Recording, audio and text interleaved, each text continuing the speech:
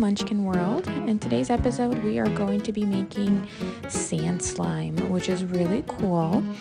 Um, it's kind of like slime and kinetic sand together. Um, for for this experiment, you are going to need very few ingredients. So you will need Elmer's clear glue, uh, six ounces, a quarter cup of warm water half a teaspoon of baking soda, a half a tablespoon of contact lens solution, and one cup colored sand. So first, let's grab a bowl to mix your slime ingredients in. Then first, you're going to add the six ounces of clear glue to the bowl.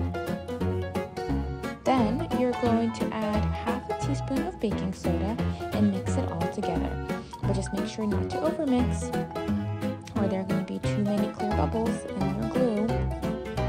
Then you're going to want to add a quarter cup of water. Mix it all gently and try not to create too many bubbles. And then you're going to add your one cup of sand to the bowl. And you can pick any color sand that you'd like. Um, we decided to pick blue as that was our favorite color for the day. Mixed together, you're going to add your contact solution and start mixing. First, just add one tablespoon and see how the solution comes together. Um, and then you can add the last half tablespoon uh, as it comes to, or it starts to kind of come together off the sides of the bowl. Then you're going to take the slime out and start kneading it until it's not sticky anymore.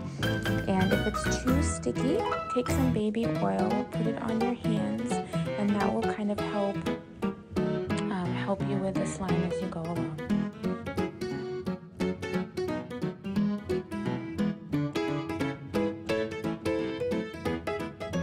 Once you're done playing with your slime, make sure to store it in an airtight container. And you're all set. Thank you for joining us on another episode of Munchkin World, and we hope to see you soon.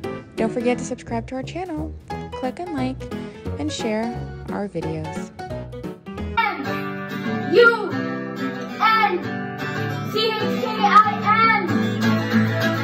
This is the Munchkin World. Yeah, it's the Munchkin World. You're watching the Munchkin